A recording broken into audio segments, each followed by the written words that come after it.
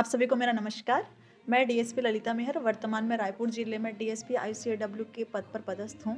और नव वर्ष की आप सभी को बहुत सारी शुभकामनाएँ। ये नए वर्ष जो है आप सभी के जीवन में बहुत सारी खुशियाँ लाएँ। आपकी बहुत सारी जो अधूरी ख्वाहिशें हों, मैं कामना करती हूँ कि वो सारी ख्वाहिशें इस वर्ष पूरी हो जाएँ।